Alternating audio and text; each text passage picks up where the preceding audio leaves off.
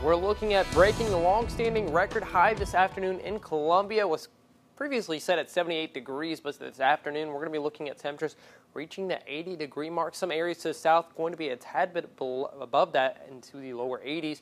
But winds going to be strong out of the south. Could see some gusts up to 25 miles possible. So you're going to want to have those lighter trash cans tied down this afternoon. Now, though we're looking sunny and warm this afternoon, we are tracking a low pressure system off to the northwest in the United States. That'll slowly creep back towards mid Missouri, and that'll completely throw a wrench in our weather. We're going to be tracking cooler temperatures and more rainfall starting Thursday morning. You're going to start to see some more cloud cover build back in, winds still remaining out of the south, so warmer temperatures into the mid 70s, but Thursday afternoon, a cold front will drive some more moisture off to the northwestern counties at about 4 p.m. That cold front continues to dive off to the east. On the backside of that, wind switching back from the northwest, and we're going to see this long line of showers begin to develop. This will be kind of taking place into Thursday night and into Friday morning. But by 6 a.m., just going to see the lingering cloud cover and the gustier winds out of the northwest. So going to see a stark cool down in those temperatures, nearly 35 degrees. By the afternoon hours, though, those cloud covers start to kind of pull back out, so sunshine does return, but going to be kind of a false pretense because we're not going to be seeing warming temperatures going to continue to cool down in the afternoon hours.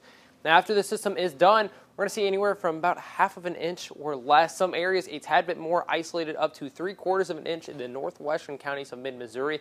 But as the system kind of makes its way off to the south and east, going to see those rainfall totals start to kind of mellow out and kind of not see as much rain across much portions of central Missouri. Now, temperatures as we head off the next several days going to really see a difference. We're going to see temperatures tonight into the lower 60s, but then we start to see a dramatic cool down Thursday night. You're going to see temperatures dipping back towards the lower 30s, going to eventually get below that freezing threshold as we head off into the weekend. Now, Saturday afternoon, our afternoon highs are only going to be into the upper 30s, so not even reaching into the 40s, but AM wind chill is going to be between that 14 to 18 degree mark as winds going to be gusting out of the northwest up to 25 miles per hour.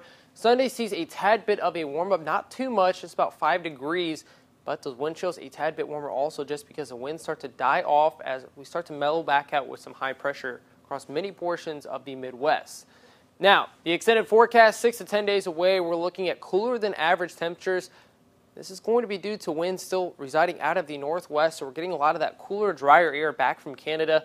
So we're going to be tracking these cooler temperatures staying with us for quite some time, especially into next week. We're going to see a little bit more cloud cover start to uptick, and eventually by next Tuesday could see some scattered showers as another small low pressure system pulls back towards central Missouri.